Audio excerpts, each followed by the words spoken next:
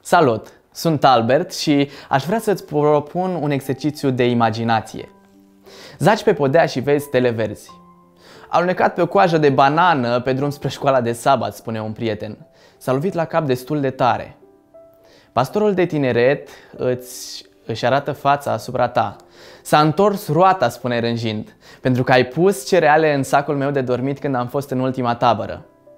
Este o chestie hormonală, mormăie un doctor. Se află la vârsta aceea ciudată.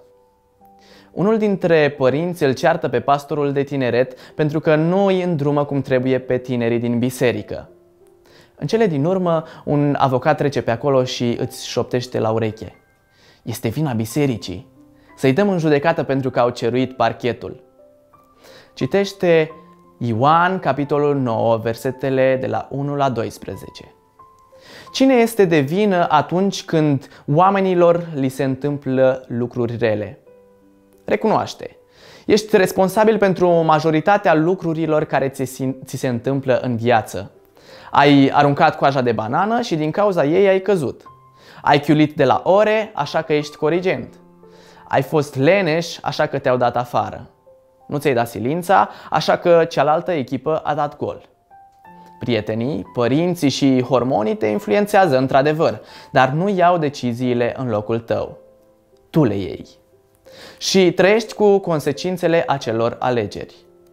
Alte ori, ești prins într-o situație fără să ai de ales. Te îmbolnăvești de gripă, părinții tăi divorțează, ai fost bătut sau abuzat, descoperi că ești uh, dislexic nu ești tu de vină, dar tot poți controla modul în care răspunzi. Ucenicii lui Isus au acceptat opinia societății cu privire la omul care se născuse orb. Necazul îl lovise pentru că cineva păcătuise. Singura întrebare era cine păcătuise? Omul înainte de naștere, credeau ei, sau părinții lui? Isus a respins ambele explicații și le-a spus ucenicilor că pierdeau din vedere lucrul cel mai important.